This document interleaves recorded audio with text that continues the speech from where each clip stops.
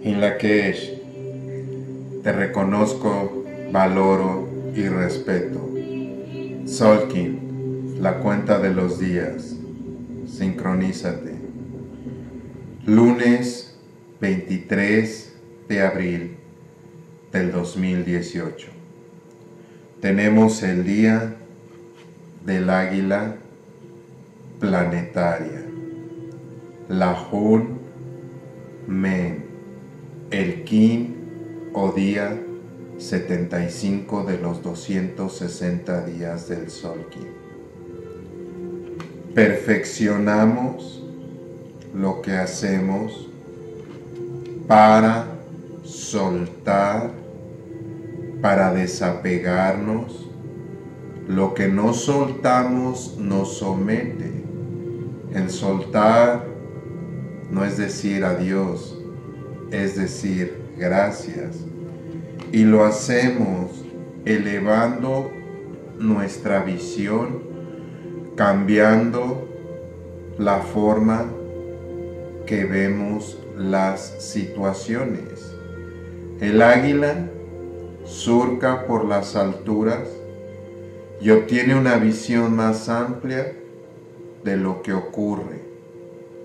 Un buen día para elevar nuestra visión.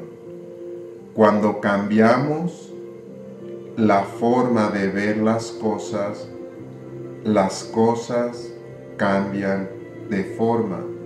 Si te encuentras en una situación densa, en algún conflicto, a menudo tendemos a ver desde el mismo ángulo.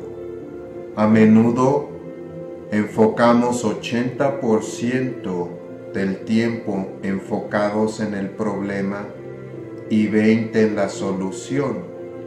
El águila nos invita a cambiar la visión enfocarnos 20% en el problema y 80% en la solución. Inténtalo y vas a ver mentalmente cómo comenzamos a ver soluciones más fácil. Si te enfocas en problemas, obtendrás problemas. Si te enfocas en soluciones, obtendrás soluciones. El águila es el servicio planetario. Nos recuerda que no hay mayor llamado que brindar servicio a los demás. Hay dos caminos, servicio al ego o servicio a los demás. La mayoría brindamos servicio al ego y nos interesa solamente el beneficio personal. Cuando brindamos nuestros dones y virtudes al servicio de los demás, cada acto se vuelve un acto de sanación para la tierra. El águila nos invita a aprender a decir no aspectado en sombra, hay una tendencia, una dificultad a decirle no a las personas por miedo a sentir que las defraudamos, nos sentimos culpables, etc. Una de las mejores maneras para sufrir es tratar de complacer a todos. Es imposible. Aprender a ser asertivos, decir lo que sentimos realmente, sin enojarnos, imponernos sumisos, simplemente decir lo que sentimos, aprender a decir no. El águila también son las posibilidades. Cuando elevamos nuestra visión nos damos cuenta de una infinidad de posibilidades y siempre escogemos una. Ser más consciente para tomar mejores decisiones. Eleva tu visión brinda servicio, aprende a decir no. Las personas con el sello del águila, mi padre biológico que ya transitó, está en el otro lado, era su sello y son personas muy compasivas. A menudo se preocupan más por las otras personas que por ellos mismos, una dificultad para decir no, pero son muy inteligentes, visionarios. El tono 10 en numerología maya son las dos barras. Es el tono Lajún, es el tono planetario y es el tono o número de la vibración de perfeccionar y de la manifestación. Nos recuerda que siempre podemos mejorar lo que hacemos sin irnos al extremo, ¿verdad? Y tratar de perfeccionar algo tanto que sentimos que no es suficientemente bien.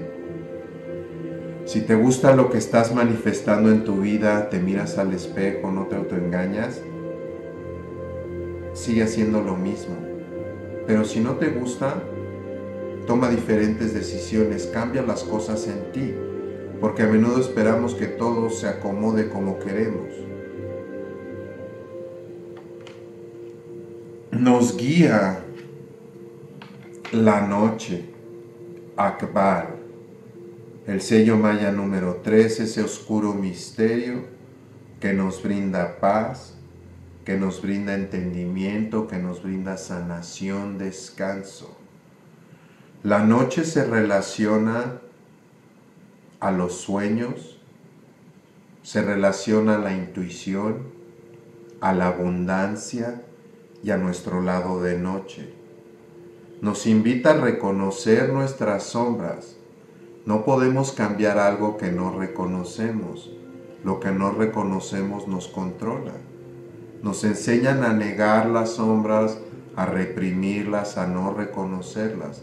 Esta información nos ayuda a conocerlas porque es parte del gran todo. no son malas.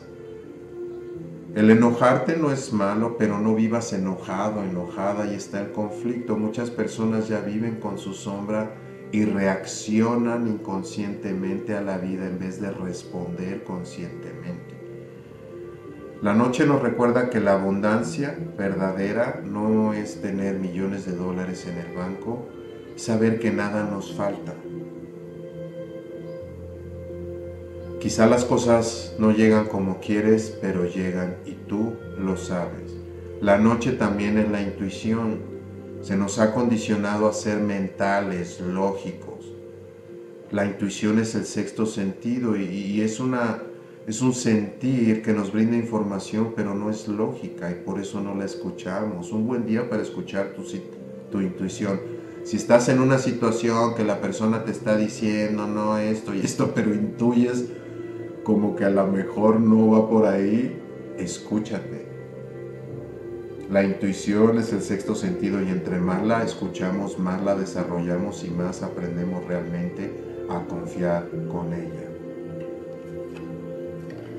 Continuamos en la onda encantada o trecena maya de el enlazador de mundos, Simi, el poder de la muerte.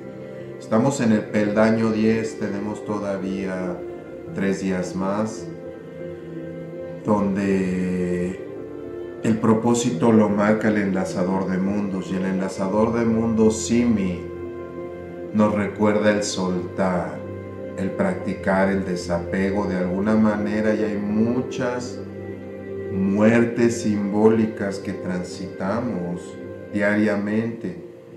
Quizás terminas una relación, un trabajo, tienes que cambiarte, alguna enfermedad, es parte de aprender a aceptar y soltar. A menudo nos cuesta.